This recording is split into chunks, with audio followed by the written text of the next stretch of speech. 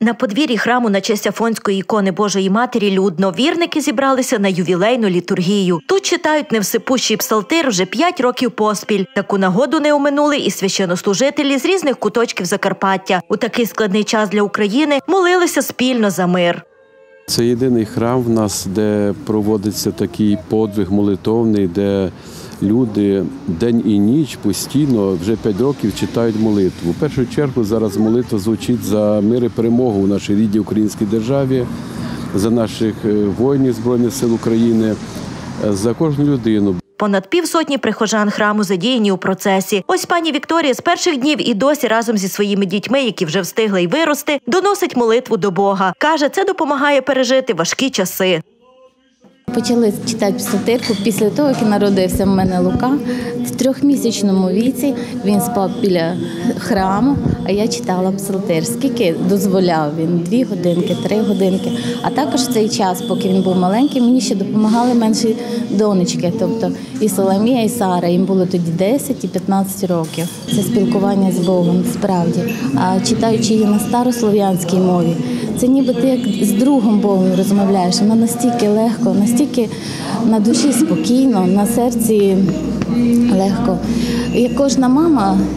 е, Молитва матері. У нас досить велика сім'я, п'ятеро діток, допомагає дітям е, е, жити в цьому житті більш спокійно і мати захист. Невсипущий псалтир особливо сильна молитва, каже настоятель Афонського храму Василій Алексій. Тим паче, що з усіх християнських церков краю її читають 24 на 7 тільки тут, у Афонському куточку Закарпаття. Цю псалтирі ми отримали благословення на святій горі Афон від керуючого архіпастиря і, звичайно, підтримали нас монастирі, але в основному це робиться силами цього приходу. Молитва за мир. Молитва за спокій, за перемогу, молитва за спасіння душі, за здоров'я. Е, Ви знаєте, що таке невсипуча. Це ну це дуже сильно, е, тому що е, монастирі моляться. Але ми молимося постійно, день і ніч. Це вже п'ять років. Я прошу від Бога благословення, щоб на наступні п'ять років Господь дав нам сил, тому що це, повірте, нелегко.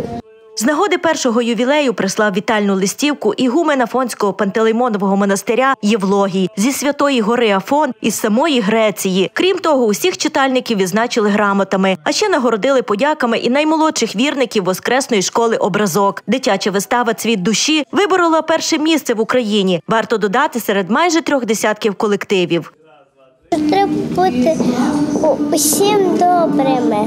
У душах розквітала квітка.